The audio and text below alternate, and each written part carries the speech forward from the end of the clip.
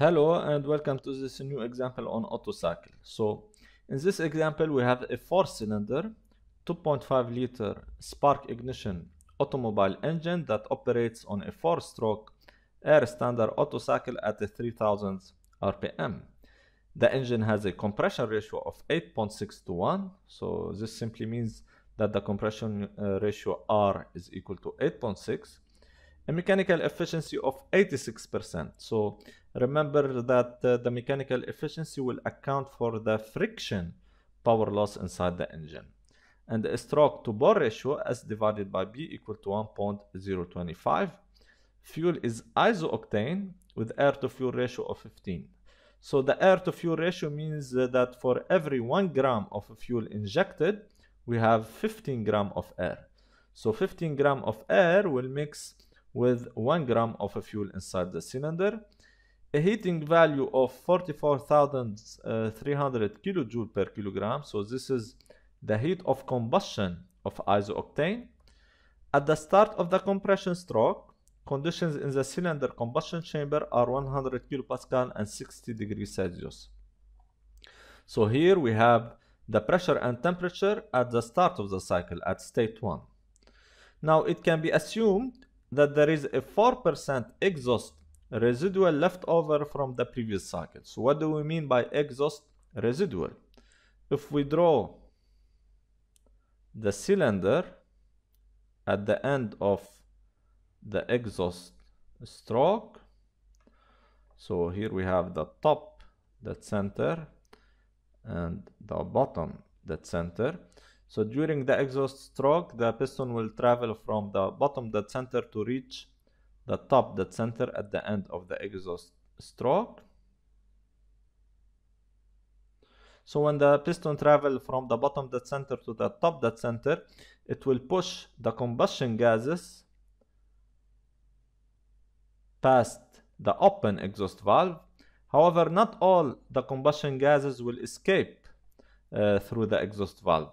Some residual combustion gases will remain inside the cylinder at the end of the exhaust stroke. So, and they will occupy the clearance volume.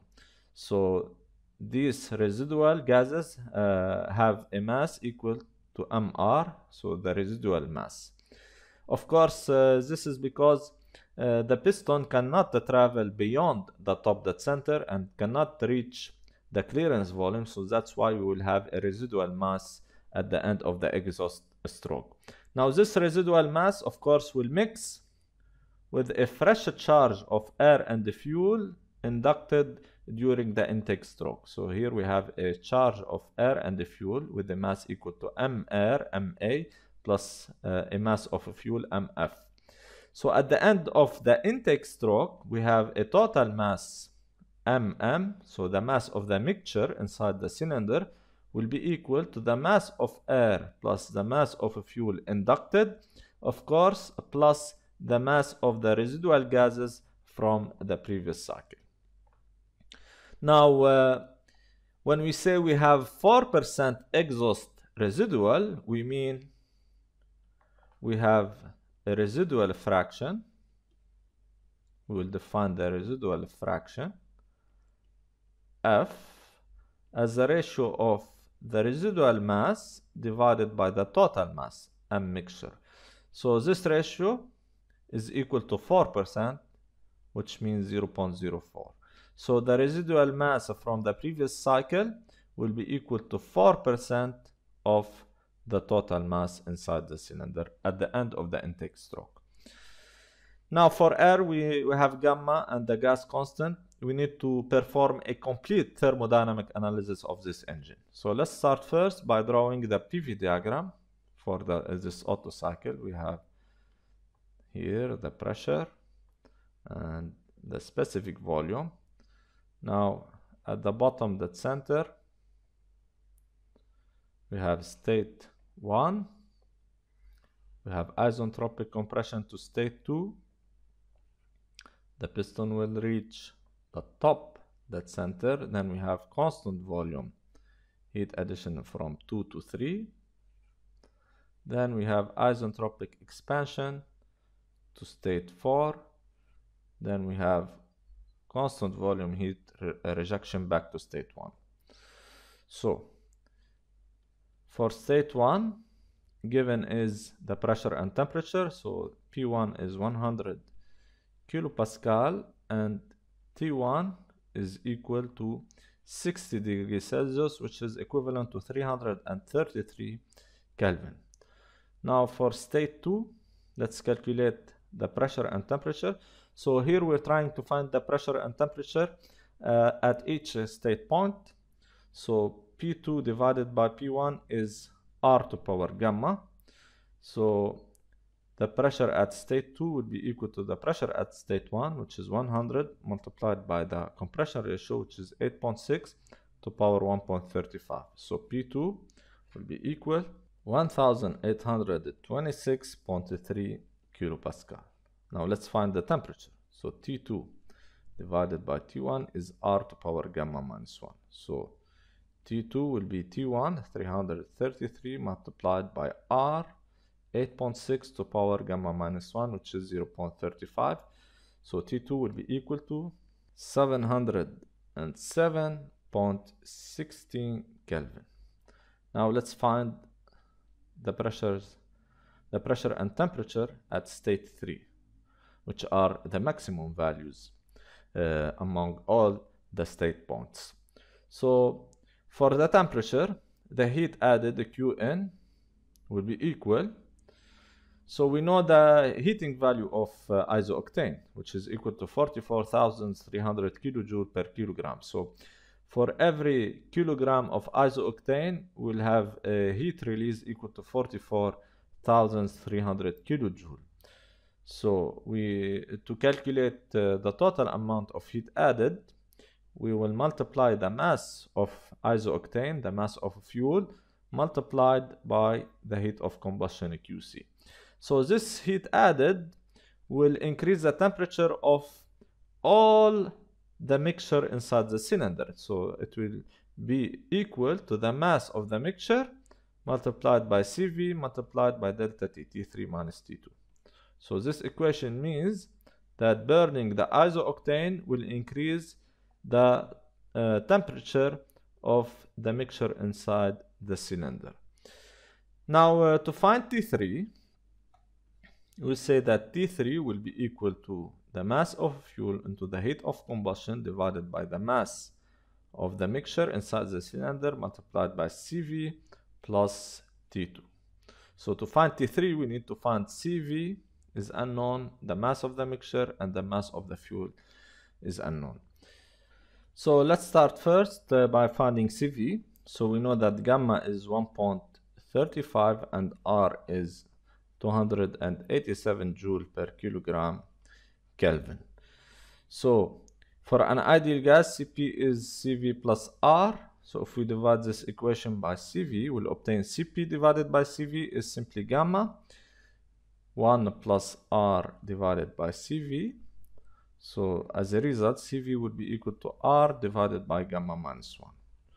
So CV in this case would be 287 divided by 0.35 which is equal to 820 joule per kilogram Kelvin. So now we found CV. Let's uh, try to find the mass of the mixture and the mass of the fuel. So to find the mass of the mixture, we can choose uh, state 1 and apply the ideal gas law. So we can say P1 V1 is equal to the mass of the mixture into RT1. So the mass of the mixture would be equal to P1 V1 divided by RT1. So the volume at state 1, so here is the clearance volume, which is the volume at state 2, and here is volume, the volume V1 and also from the top dead center to the bottom dead center this is the displacement volume in the problem we know the displacement volume for uh, this engine which is equal to 2.5 liters and we have a four cylinder engine. So uh, the displacement volume for one cylinder is equal to 2.5 liters divided by the number of cylinders. So 2.5 divided by 4 will be equal to 0.625 liters equal to 0.625 times 10 to the power minus 3 meter cube. So to calculate V1, we can use the value of the compression ratio R, which is V1 divided by the clearance volume. And the clearance volume is simply V1 minus the displacement volume, of course, for one cylinder. So we can say that V1 multiplied by R minus 1 is equal to R multiplied by the displacement volume for one cylinder. So V1 in this case would be R divided by R minus 1 into the displacement volume for one cylinder. Okay, so when analyzing uh, a cycle on a PV diagram, of course, always remember that this is, we are using the displacement volume for one cylinder and this is uh, the work, if you calculate, for example, the work using the PV diagram, this will be the work executed uh, by one cylinder also. Okay. Now, V1 is R divided by R minus 1 multiplied by the displacement volume for one cylinder, which is 0.625 times 10 to power minus 3. So V1 in this case would be equal to 7.0724 times 10 to power minus 4 meter a cube. So the mass of the mixture is P1 100 kilopascal times V1 7.0724 times 10 to power minus 4 divided by R. So since the pressure is in kilopascal, R should be in kilojoule per kilogram Kelvin, which is 0.287 times the temperature T1, which is 333. So the mass of the mixture would be equal 7.4 times 10 to power minus 4 kilogram. So we have calculated the mass of the mixture. Now we need to find the mass of the fuel, MF. So we have the air to fuel ratio. The air to fuel ratio, which is the mass of air divided by the mass of fuel, as we said, is, is equal to 15. So for every one gram of fuel injected, we will have 15 gram of air. And, uh, and also, we know that the residual mass is 4% of the total mass of the mass of the mixture. So since uh, we have found the mass of the mixture, we can calculate the residual mass, which will be 0.04 multiplied by 7.4 times 10 to power minus 4. So this will be equal to uh, 2.96 times 10 to power minus 5 kilogram. And also, we know that the mass of air plus the mass of fuel plus the mass of uh, residual gases will be equal to the total mass, the mass of the mixture. So the mass of air plus the mass of a fuel will be equal to uh, the mass of the mixture minus uh, the residual mass. So 7.4 times 10 to power minus 4 minus the residual mass, which is 2.96 times 10 to power minus 5. And this will be equal to 7.104 times 10 to power minus 4 kilogram. So uh, the mass of air is 15 times the mass of a fuel. So the mass of air is 15 times the mass of fuel plus the mass of fuel will have 16 times the mass of fuel equal to 7.104 times 10 to power minus 4 uh, kilograms. So the mass of a fuel will be equal approximately 4.44 times 10 to power minus 5 kilograms. Also, we can find the mass of air. The mass of air is 15 times the mass of fuel, 15 times 4.44 times 10 to power minus 5. So this will be equal approximately 6.66 times 10 to power minus 4 kilograms. So of course, if you add the mass of air plus the mass of fuel plus the residual mass, uh, you should obtain a value equal to the mass of the mixture, which is 7.4 times 10 to power minus 4. Now let's find, uh, let's go back uh, to the problem and find T3. So T3 is equal to the mass of a fuel times the heating value for isooctane which is uh, 44,300 kilojoule per kilogram. So let's uh, double, uh, double check. Is 44,300 kilojoule per kilogram divided by the mass of the mixture which is 7.4 times 10 to power minus 4 times the specific heat at constant volume. So the specific heat at constant volume is 820 joule per kilogram Kelvin. However, since uh, we are using the heating value in kilojoule per uh, kilogram, uh, the specific heat at constant volume should be in kilojoule per kilogram Kelvin, which is 0.82 kilojoule per kilogram Kelvin, plus the temperature at state 2 plus T2 so T2 is 707.16 Kelvin. So 707.16 Kelvin. So T3 will be equal to 3948.62 Kelvin. So now we found the T3. Let's uh, find uh, P3. So during the constant volume heat addition, we know that P3 divided by P2 is equal to T3 divided by T2. So P3 will be equal to P2 multiplied by T3 divided by P2 by uh, T2. So P2 is uh, calculated uh, previously and it is 1826.3 1826.3 multiplied by T3 3948.62 divided by T2 so T2 is 707.16 so as a result P3 will be equal to 10,197.64 kilo Pascal. So let's find uh, find now uh, P4 and T4. So for state 4 we have isentropic expansion. So P4 divided by P3 is 1 over R to power gamma. So P4 will be equal to P3, 10,197.64 multiplied by 1 over R, 1 over 8.6 to power 1.35.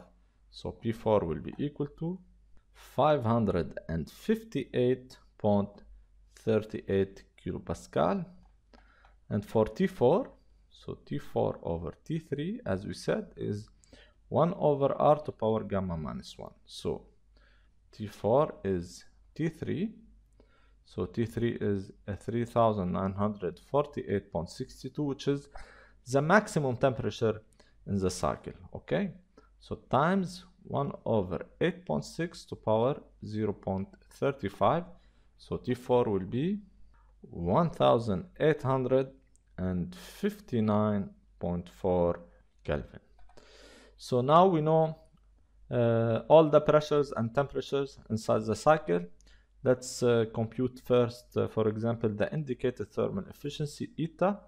So it is function of the compression ratio. So eta is 1 minus 1 over r to power gamma minus 1. So 1 minus 1 divided by r, which is 8.6 to power 0.35 so the indicated thermal efficiency would be equal 0.529 now uh, let's calculate the indicated work for example so W indicated or W cycle is eta multiplied by Qn so eta is 0.529 multiplied by the mass of a fuel so the mass of a fuel is 4.44 times 10 to power minus, uh, 5 times the heat of combustion, which is 44,300 kilojoule per kilogram. So we'll obtain the indicated work in kilojoule.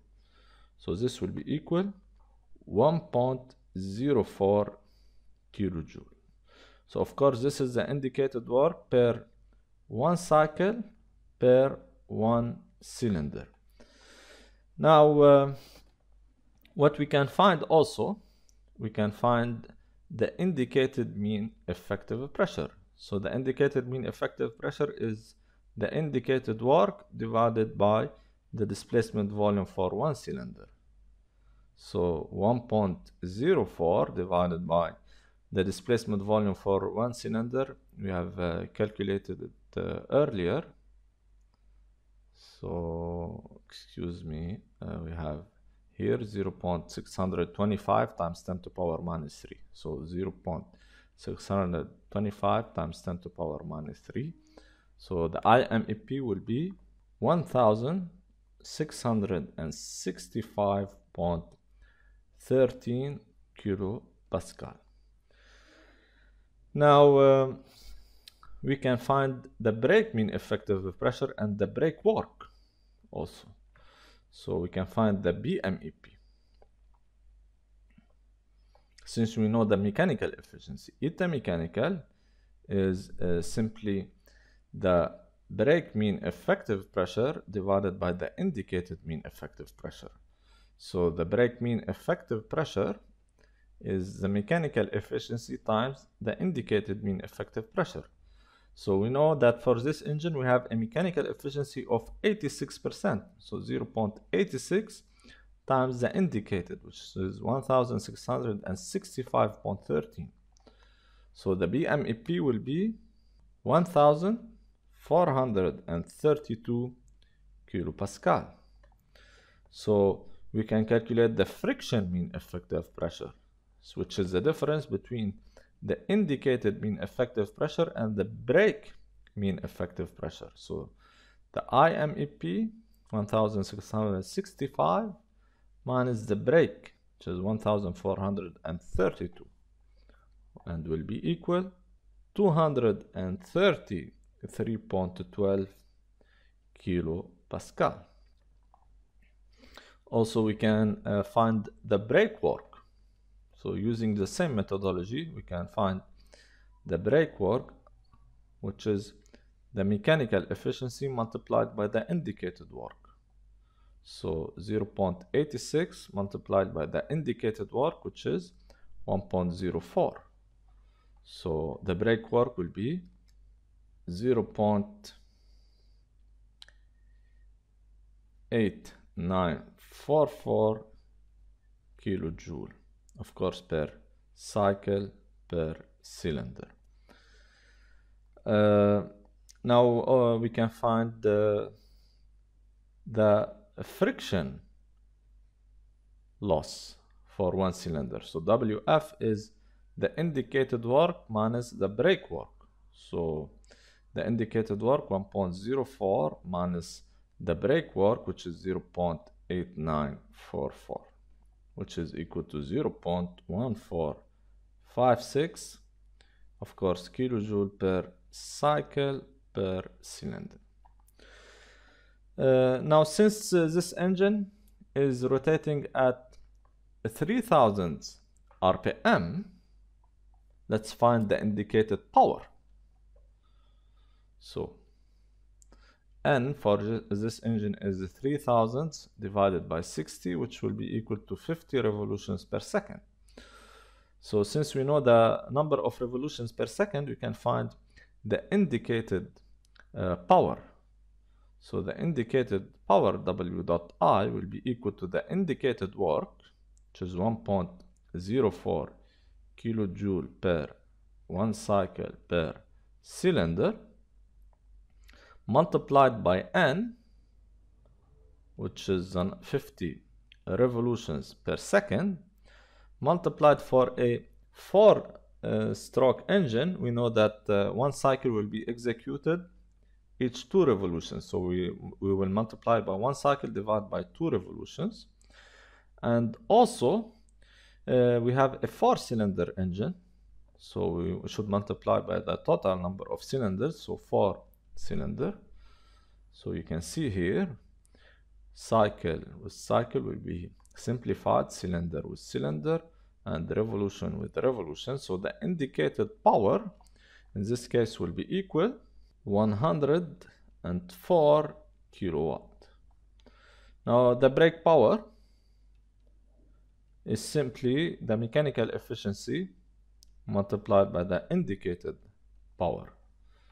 So uh, 104 multiplied by 0.86 will be 89.44 kilowatt. So the friction power loss W dot F will be the difference between the indicated power and the brake power 104 minus 89.44. So this will be 14.56 kilowatt. Uh, also, let's uh, try to find the brake specific fuel consumption, the BSFC, which is uh, the mass flow rate of a fuel divided by the brake power. We know that uh, the mass of a fuel is 4.44 times 10 to power minus 5 kilogram per, of course, per cycle per cylinder. Okay, so the relationship between m dot f and mf, so m dot f will be 4.44 times 10 to power minus 5 kilogram per cycle per cylinder multiplied by the number of revolutions per second multiplied by one cycle executed uh, per two revolutions multiplied by the uh, total number of cylinders which is four cylinders so the mass flow rate of a fuel in this case will be 4.44 times 10 to power minus 3 kilograms per second. So the brake specific fuel consumption will be 4.44 times 10 to power minus 3 divided by the brake power which is 89.44. So we'll have kilograms per second divided by kilojoule per second which is kilowatt. So we'll obtain uh, the unit of kilogram per kilojoule. So the brake specific fuel consumption, the BSFC will be equal 4.96 times 10 to power minus 5 kilogram per kilojoule. Also, if we, we want, uh, for example, we can find the mean piston speed, UP bar, which is 2ns. So we have uh, stroke to bore ratio equal to 1.025 and we know that uh, the displacement volume for uh, all the engine is the total number of cylinders multiplied by pi over 4 b square s. So 2.5 liters divided by 4, the total number of cylinders multiplied by 10 to power minus 3 will be equal to pi over 4 multiplied by b square multiplied by s. So s is 1.025 multiplied by the bore. So the bore in this case will be 2.5 times 10 to power minus 3 divided by pi into 1.025 all to power 1 over 3. So the bore will be equal to so 0.092 meters. So the stroke will be 1.025 multiplied by the bore which will be uh, 0.094 meters. So the mean piston speed will be 2 into n into 0.094 so this will be equal to 9.42 meters per second also the last uh, parameter that uh, we'll find is the torque tau so we said that the brake power is related to the torque and the engine speed by 2 pi tau n.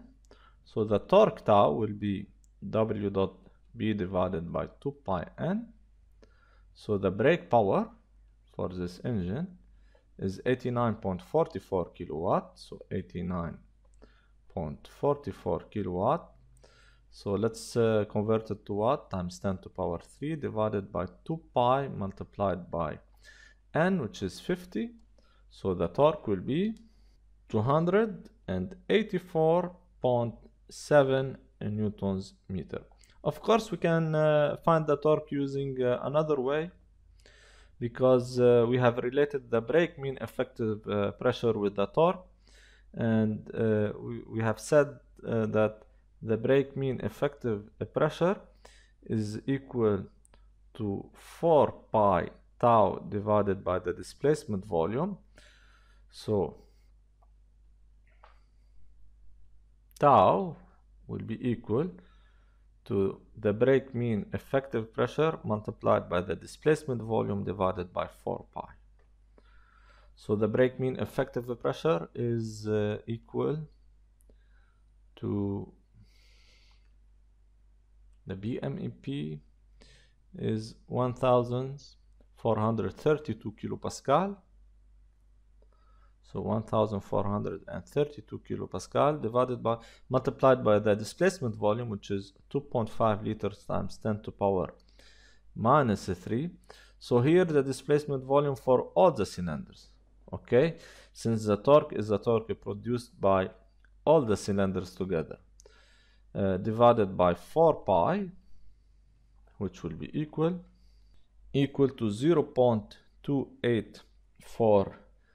0.2848 kilonewtons meter. So of course uh, this is in kilonewton meter since the brake mean effective pressure is in kilopascal. So we can we can convert to newton meter by multiplying by 1000 so we'll have 284.8 newtons meter which is uh, similar to the torque calculated from the brake power. So you can calculate the torque uh, using either ways.